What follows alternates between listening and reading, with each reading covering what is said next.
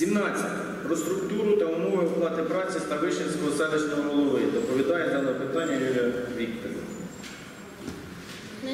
Унормовуємо питання оплати праці селищного голови, встановлюємо йому премію в розмірі 50%, надбавку в розмірі 50%, також унормовуємо плати праці особи, яка виконує його обов'язки під час тимчасової відсутності селищного голови, встановивши надбавку в розмірі 50% і премію в розмірі 70%. А до цього йде? Так приблизно і було. Було 60, але потім, коли збільшились оплати, то треба зменшувати премію. Ну, я прокоментую дане питання. Я думаю, що ні для кого не секрет, що зарплата селищного голови не є основним Не хотів піаритися чи ще щось зробити, я можу чітко сказати, що всі кошти, які зароблені мною як селищним головою, я передаю на допомогу армії. І при я можу сказати, що це всього-навсього частина тих коштів, які я передаю на допомогу армії.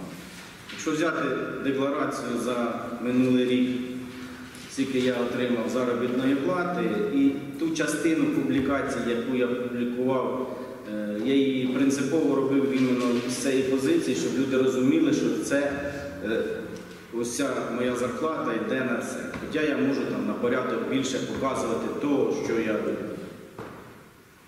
Я хочу доповнити, що е, наш селищний голова значні особисті кошти вкладає в нашу українську е, церкву, православну церкву яка будується в центрі е, селища. Я кажу, я не хотів піаритися, але можу сказати, що зараз государство е, роблять на церкві це 220 тисяч гривень моїх особистих коштів. А до того, що було скільки? Це, ну, це чітко ми бачимо, я ще раз кажу, я не хотів піара робити з цього, але виходить е, з тих срачів, які е, в соціальних мережах, через те я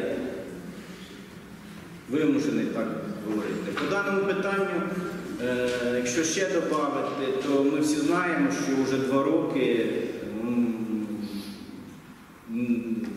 я працюю без першого заму. Відповідно, в нього були посадові і функціональні обов'язки, які ми розподілили з іншим замом між собою і цю роботу ми виконуємо. Дане питання я не буду голосувати, так як є конфлікт інтересів. Ставлю дане питання на голосування. Питання номер 17. Хто за?